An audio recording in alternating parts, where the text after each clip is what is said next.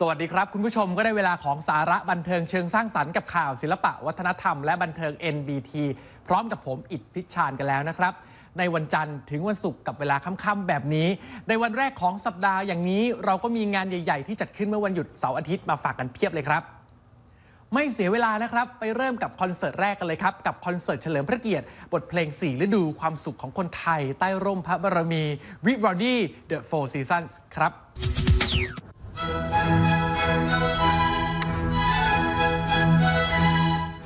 พระที่นั่งเทวราชสภารมย์ พระราชวังพญาไทที่งดงาม จัดคอนเสิร์ตเฉลิมพระเกียรติ พระบาทสมเด็จพระเจ้าอยู่หัว บทเพลงสี่ฤดูความสุขของคนไทยใต้ร่มพระบารมี Vivaldi The Four Seasons เพื่อเผยแพร่พระปรีชาสามารถด้านดนตรีของพระองค์ท่าน พร้อมกับเปิดโอกาสให้เยาวชนไทยในโครงการPro Musica Junior Camp 2ทั้ง 21 คน ได้แสดงศักยภาพด้วย หลังผ่านการคัดเลือกผู้สมัครทั่วประเทศ และเข้าร่วมอบรมเชิงปฏิบัติการด้านดนตรีมาแล้ว โดยนอกจากบทเพลง The Four Seasons ผลงานชิ้นเยี่ยมของดุริยกวีชื่อก้องโลกชาวอิตาเลียนยุคอันโทนิโอวิวัลดีที่ใช้เป็นชื่อคอนเสิร์ต ซึ่งมีท่วงทำนองและอารมณ์แห่งฤดูต่างๆ แล้ว อีกไฮไลท์ของคอนเสิร์ตครั้งนี้ก็คือ บทเพลงพระราชนิพนธ์ในพระบาทสมเด็จพระเจ้าอยู่หัว 4 บทเพลง ที่ทางโครงการได้รับพระบรมราชานุญาต อัญเชิญมาเป็นโจทย์ในการคัดเลือกให้น้องๆ เยาวชน เรียบเรียงเสียงประสานและได้แสดงในคอนเสิร์ตครั้งนี้ อย่างเพลงรัก เพลงลมหนาว เพลงแผ่นดินของเรา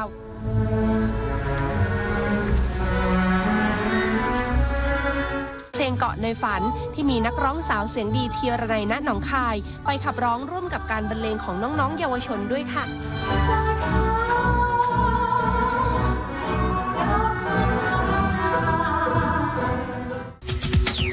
ต่อด้วยคอนเสิร์ตเพลงรักสุดโรแมนติกครั้งแรกของนักแต่งเพลงมากฝีมือ พลเทพสุวรรณบุญในชื่อรักนิรันดร์ครับ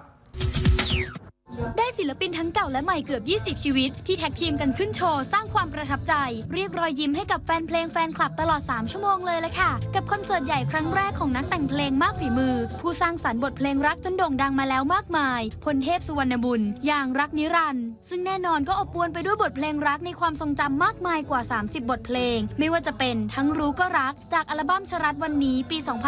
2529 ที่เจ้าตัวก็นำไปร้องไปเล่นให้ฟังด้วยตัวเอง ก่อนจะตามด้วยเพื่อนพ้องน้องพี่ร่วมเส้นทางดนตรี ทั้งเพื่อนรักคนสนิทชรัตเฟื่องอารมณ์ที่มาพร้อมกับบทเพลงรักหวานๆหลับตา จากอัลบั้มคืนรักที่อบอุ่น เมื่อปี 2531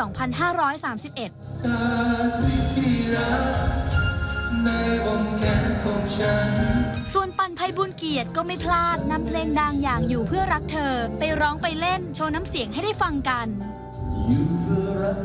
ห หม่ที่โด่งดัง และเป็นที่รู้จักจากบทเพลงของเขามากมาย ซึ่งก็มีทั้งแบบเดียวๆ อย่างซินซิงคูล่าที่นำเพลงรักช้ำๆ จากอัลบั้มกบใสๆ เมื่อปี 2533 อย่างเติมไม่เต็มไปร้องให้ฟังกันด้วย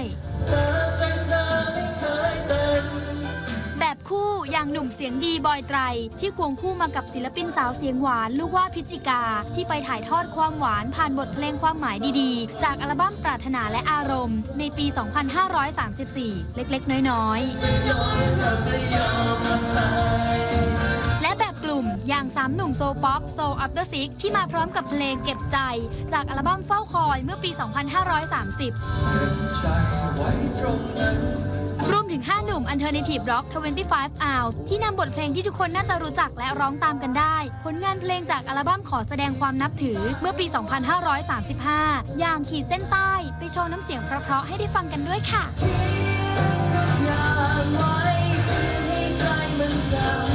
และอีกมากมายหลายต่อหลายเพลงเลยล่ะค่ะ ยังอยู่กับคอนเสิร์ตเสียงเพลงเสียงดนตรีนะครับ แต่งานนี้เป็นเทศกาลดนตรีงานใหญ่อย่างเทศกาลดนตรี Melody of Life ครั้งที่ 9 ครับ จัดงานใหญ่ใจกลางกรุงเทพเอาใจคอเทศกาลดนตรีให้ได้ไปสนุกสนานกันตลอดทั้ง 2 วันเสาร์อาทิตย์ที่ผ่านมาเลยนะคะ สำหรับเทศกาลดนตรีที่มีมากกว่าแค่เสียงเพลงเสียงดนตรี เพราะยังมีเรื่องของภาพยนตร์และศิลปะด้วย อย่าง Melody of Life ครั้งที่ 9 Live Digital Live More The Festival for Bangkok ที่มาพร้อมกับคอนเซปต์สุดตืด Power Up ขยับโลก ซึ่งแน่นอนก็มีเหล่าศิลปินนักร้องคนดนตรีจากหลากค่ายหลายสังกัด ไปร่วมกันมอบความสุขผ่านเสียงเพลง ให้ได้เต็มอิ่มกันเกือบ 60 วง บนเวทีต่างๆ ซึ่งกระจายอยู่ทั้งด้านนอก และด้านในศูนย์การค้าเซ็นทรัลเวิลด์ไม่ว่าจะเป็นเวทีใหญ่กับศิลปินนักร้องชื่อดังของไทยทั้งวินนักร้องนำแห่งวง Squeez Animal ที่ขนเพลงดังเพลงฮิตไปร้อง ให้ฟังกันอย่างใกล้ชิดในหลายๆ บทเพลง วงดนตรีขวัญใจเด็กแนวอพาร์ตเมนต์คุณป้า ซึ่งเน้นไปที่บทเพลงจังหวะสนุกๆ ให้แฟนๆ ได้กระโดดได้โยกกัน ที่เวทีเล็กสำหรับศิลปินอินดี้ศิลปินสุดแนว ก็ไม่น้อยหน้าสนุกสุดเหวี่ยงไม่แพ้กัน เพราะมีเลดี้กาก้าเมืองไทยจีนกษิดิศไปร่วมสร้างสีสันด้วยตลอดจนการออกร้านจำหน่ายสินค้าเก๋ๆ สินค้าไอเดีย สินค้า DIY ต่างๆ ให้ได้เลือกซื้อเลือกหากันแบบชิลๆ อีกเพียบเลยละค่ะ มาถึงช่วงที่หลายๆ คนรอลุ้นกันอยู่แล้วนะครับ กับรายชื่อคุณผู้ชมที่โชคดี จากการร่วมสนุกของสัปดาห์ก่อนครับ คุณผู้ชมที่ไม่มีรายชื่อไม่เป็นไรครับ เพราะเรายังมีคำถามครั้งใหม่ประจำสัปดาห์นี้มาให้ร่วมสนุกกันเช่นเคยครับคอนเสิร์ตรวมเพลงรักของนักแต่งเพลงมากความสามารถ พลเทพสุวรรณบุญที่มีชื่อว่ารักนิรันด์จัดขึ้นเป็นครั้งที่เท่าไหร่ ทราบคำตอบแล้วก็ส่งกันเข้ามาได้นะคะ เพราะเรามีของรางวัลที่น่าจับจองเป็นเจ้าของรออยู่มากมายเลยละค่ะ เวลาของสาระบันเทิงเชิงสร้างสรรค์กับข่าวศิลปะ วัฒนธรรมและบันเทิง NBT ของผมในวันนี้ หมดลงอีกแล้วละครับ คงต้องลากันไปก่อน กลับมาพบกันใหม่ในวันพรุ่งนี้เวลาเดิมดีๆ แบบนี้นะครับสำหรับวันนี้สวัสดีครับ